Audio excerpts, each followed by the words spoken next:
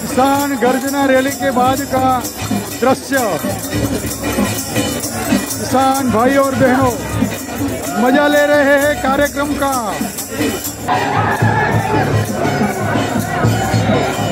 Thank म्हणा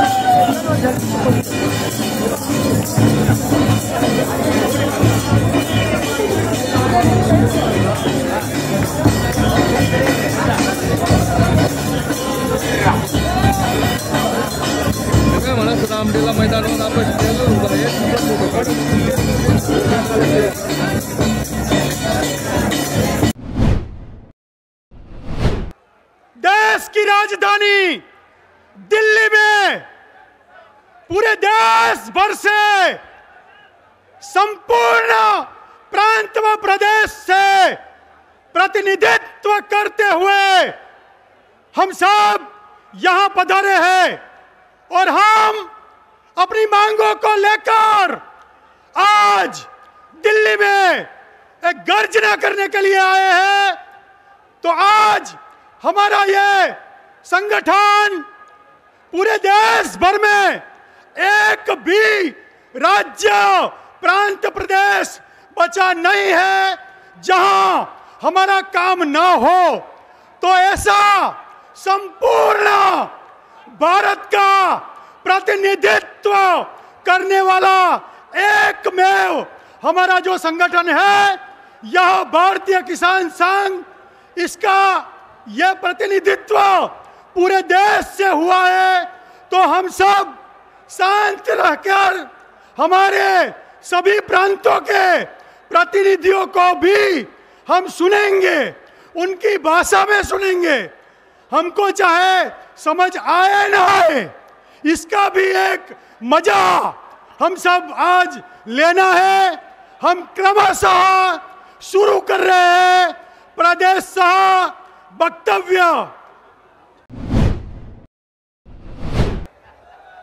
भारत माता की उस तरफ़ से आवाज़ नहीं आ रही है, यहाँ से लोग बोल रहे हैं, लेकिन उस तरफ़ के लोग बैठे हैं ऐसे ही। भारत माता की, भगवान बलराम की। हाँ अब आई आवाज़। आज हम भारतीय किसान संघ के माध्यम से यहाँ पर लागत के आधार पर लाभकारी मूल्य के लिए हम यहाँ मिले हैं, हमारी मांग को लेकर। तो हम वो तो लेकर रहेंगे, क्योंकि सरकार में हमने बात रखी है तो हमें विश्वास है कि वो हमारी बात सुनेंगे, क्योंकि इतनी बड़ी संख्या में हम यहाँ उपस्थित हुए हैं तो कुछ तो उसका फ़ायदा होने वाला है, ऐसा हमें लग रहा है। और हमारी मांगे जो हैं, उसमें पहली मांग हमारी लागत के आधार पर लाभकारी मूल्य है, और दूसरा है, दूसरा जीएसटी नाबूद होना चाहिए हमारी जो इनपुट है सारे किसानों की। और तीसरी बात जो है कि किसान सम्मान निधि बढ़ानी चाहिए। और चौथा जो है हमारा जीएम, जो बीज है, उसके बारे में है कि जीएम फ़ूड की मान्यता जो सरकार ने दी है, वो नाबूद होनी चाहिए, रद्द करनी चाहिए।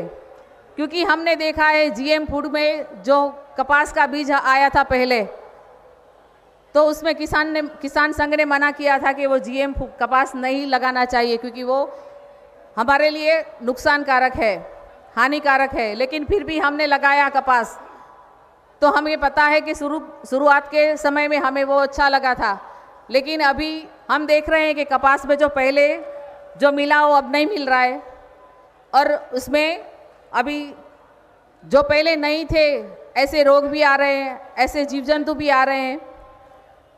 लेकिन इससे बहुत बड़ा नुकसान वो हुआ है कि हमारे जो देसी बीज थे वो अभी नहीं मिल रहे हैं। क्योंकि यूनिवर्सिटी में भी आप जाओगे तो भी नहीं मिलेंगे। तो अभी सरकार ने जो हमें जीएम फ़ूड के लिए जो मान्यता दी है तो वो सारे बीज आ जाएँगे। तो हमारे देसी जो बीज है, वो सारे के सारे नष्ट हो जाएँगे। और हम